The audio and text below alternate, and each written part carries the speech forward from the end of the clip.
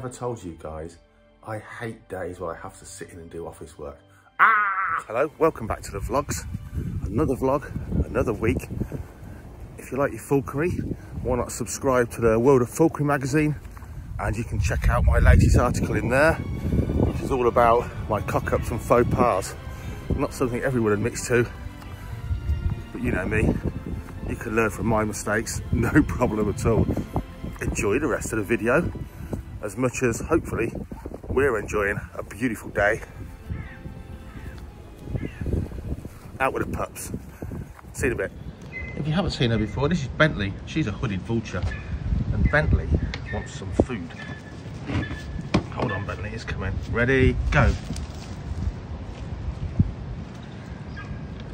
Being a vulture doesn't mean she wants rotten food. Would you want rotten food if you had the choice? She eats dead stuff. And people think, well, they eat dead things. They eat, they like rotten meat. But of course, you all eat dead things, or most of you do, but you like it fresh. They can stomach terrible rot, but of course, they'd rather not eat that if they can find a fresh carcass instead. Far nicer, I'm sure. Hold on, I'm coming. Mm, yeah, what we got here? We got a nice pot of soil, courtesy of the molehills, and two polecats climbing up my leg. Hello. So we'll see what they like. Uh, ferrets or polecats love digging, so we're going to put this in here and see what they do. So, Annie, would you mind holding that? Yeah, I'll hold the phone, darling. Yeah, Oh God, they're going to go. They're going up my leg. Look at these. Where you going? Crazy girly. Keen. Come here. Find the box. Don't squish yourselves.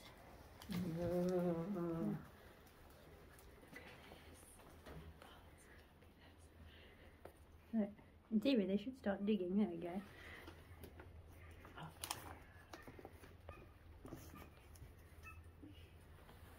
What are you doing?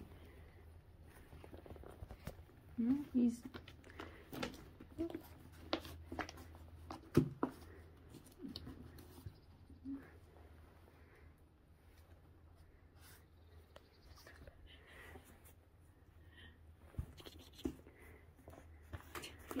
There you go. Right in, Oh, that's yeah. great. Great fun. And the best thing is they're first because the way they're first designed, they're almost like Teflon, so all the the soil will basically just fall off of them. So you can cover it in it, and it all just comes off. What do you think? He's got tickly armpits. This one. What do you think? Just dig,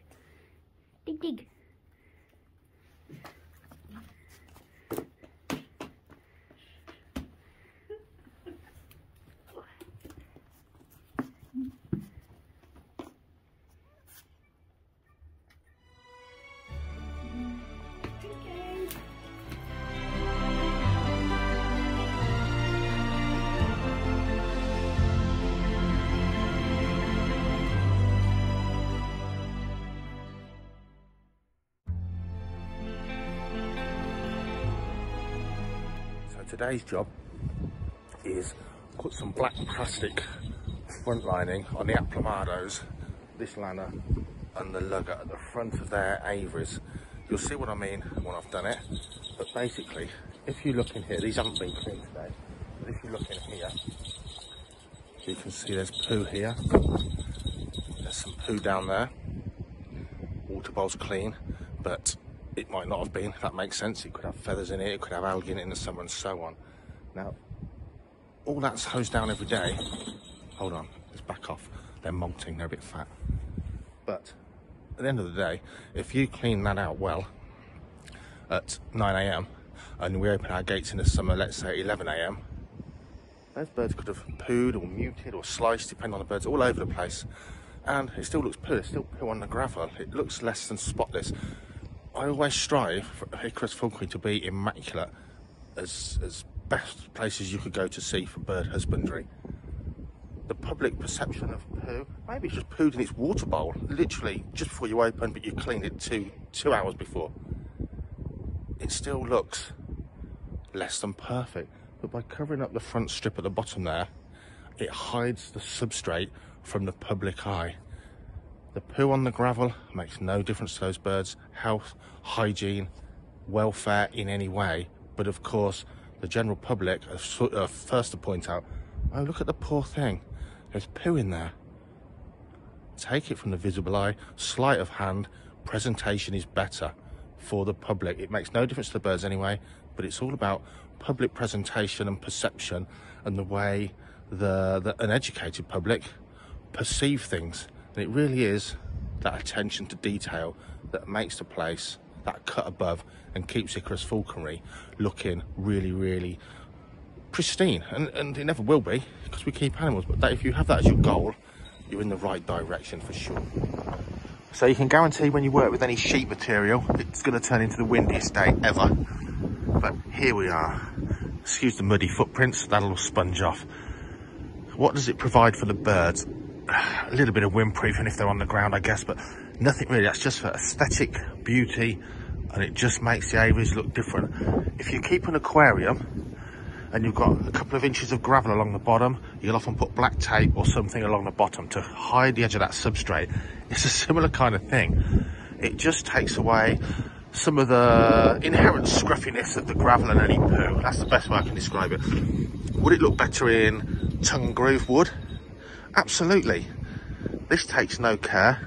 It lasts years, even in full sun, even in the UV. It's just damp-proof membrane. It's my now go-to building material to fix anything. Yes, it would look nicer with tongue and groove wood across there. The difference is this. And this is what I haven't got to spend on things like this, but I can still make it look beautiful for a bit of elbow grease and not a lot of cost. It at least helps the look of the overall project. Still more to do. Aplomado's next. The mangrove in the day, no problem. It's just different mode. Turn the lights on after dark and look at the reach of this thing. It just thinks I'm offering food and my hand is not on the menu. Go on, back in you go. what a gorgeous creature. So at night, the vivarium opens, food comes its way.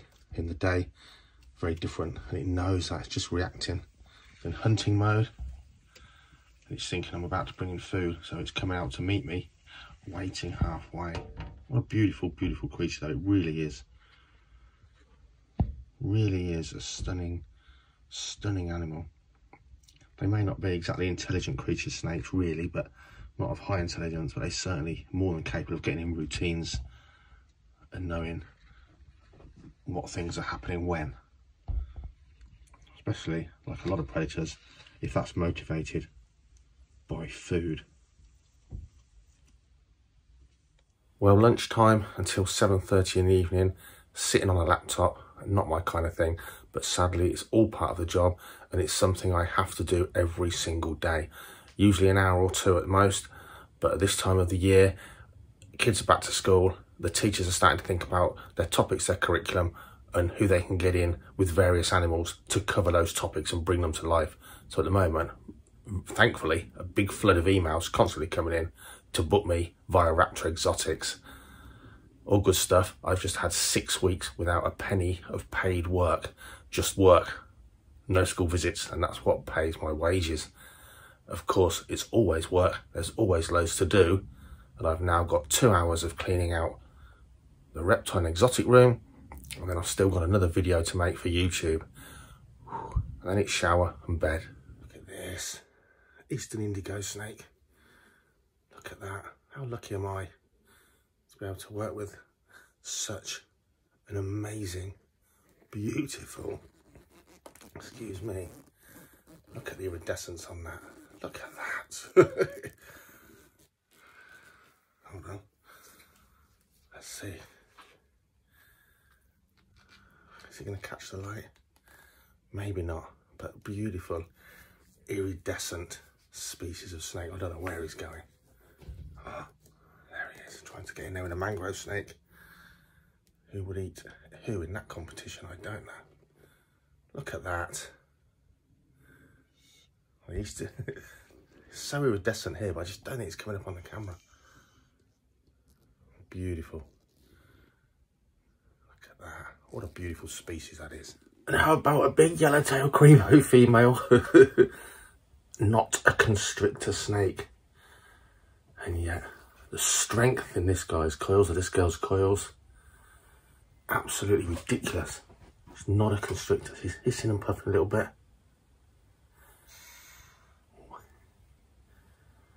But very, very strong. The Cribos, the Drymarchons, indigo snakes. The grip, it's like the Kraken's got me around the neck. And yet, they're not constrictors. They just bite and bludgeon their prey to death. The male's gone into blue, he's getting into shed.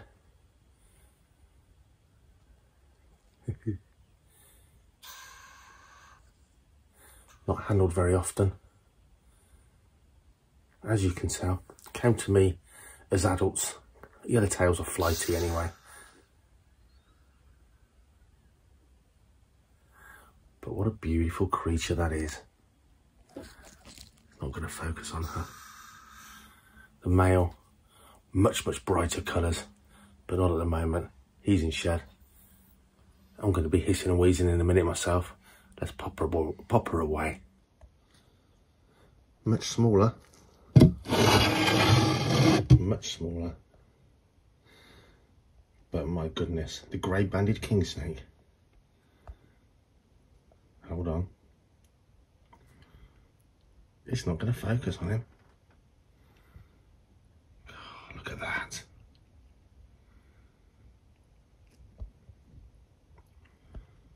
What a beauty. You've seen him before. But what a stunning snake that is. What about these? Green Barons Racers. By the way, check out the reptile playlist on the channel if these are your things. Lots more standalone reptile videos now. Growing all the time. But look at that. Just nature's wonders. Look at that. And its cute little Pinocchio nose. Beautiful. Lots of growing still to do for these guys. These girls as they actually are. Anyway, lots more to do. Hello. about these? Vietnamese blue beauties. Quite snappy sometimes. This is the smallest of them all here. She's separate from the other three because she's still got a bit of catching up to do. Look at that, typical blue beauty pose. Whoa, and that's why. How to be defensive. Let's be, whoa, let's be offensive. Stunning snakes though, look at this. A blue Vietnamese blue beauty snake. We're still not seeing enough invertebrates on this channel. Look at this. Asian forest scorpion, of which there are several very similar species. I found these in rainforests in Thailand. I can tell you something now. When they're wild and worried, they can't half pinch with those pincers. Whether you've got hold of the sting or not. Look at its little beady eyes. And that sort of spandex stretch stretch panel in the side there. So when the going's good and they are finding lots of food they can still eat plenty despite that heavy armor plating. There's the telson sting on there. These guys for me they just hurt when they sting it goes off pretty quick covered in sensory hairs as you can imagine, its eyesight is absolutely useless. It doesn't have antennae, but it does have a body covered from one end to the other in sensory hairs, as well as two special bits of kit underneath its tummy called pectines that can pick up chemicals from the ground and possibly vibrations too. I absolutely adore scorpions. They fascinate me and always have done. Gertrude, a great star to many a rainforest school tour. It sure is windy out here. Now, my namesake of sorts, Roy Sharp, not with an E, tells me, Dave, you've got to get on TikTok, get down with the young'uns. So we are. We're on TikTok, don't know what I'm doing, haven't got a clue. Go over there, help me out. I don't even know how to ask you how to help me out. But whatever you have to do on TikTok, go and have a look. Same same as the channel, Dave Sharp Nature Boy. And for a little while now, we've been on Instagram too, Dave Sharp Nature Boy. Go and check it out on there. That's it, yeah, help me. Don't know how, don't know what I'm doing. Go and have a look. Cheers guys, thanks a lot.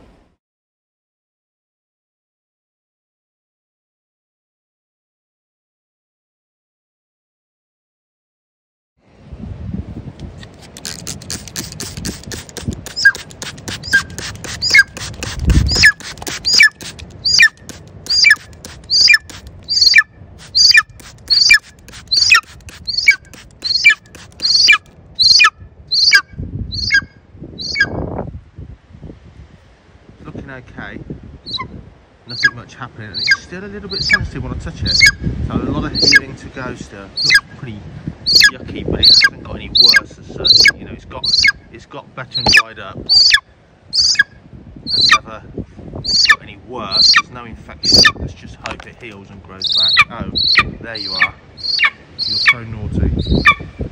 Something I've been doing recently was looking through the old laptop for some photos for another article I was writing, part two of my faux pas. As you do when you're sort of searching through your laptop and you're scrolling through photos, you see loads of images that you haven't seen for ages. It took me right back because although I am Dave Sharp Nature Boy, I used to be pretty crazy fast bike rider. Have a look at some of these. Unfortunately, most of them were times before social media where you were just uploading photos and storing them. I've got hardly any photos of most of my bikes. But have a quick look at these. Oh, takes me back. If only my eyesight and my wits were as quick as they are then, and there wasn't as much traffic on the roads as there is today. I'd love another bike, but to me, it would just be impractical, and I need my license. Enjoy these.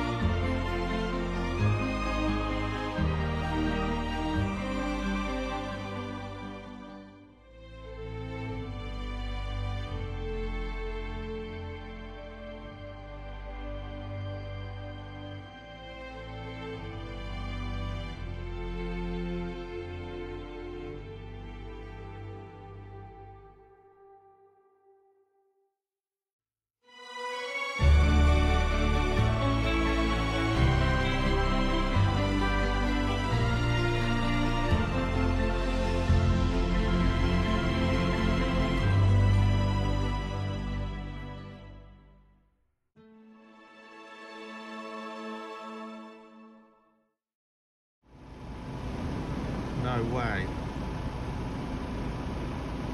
It's spring is starting.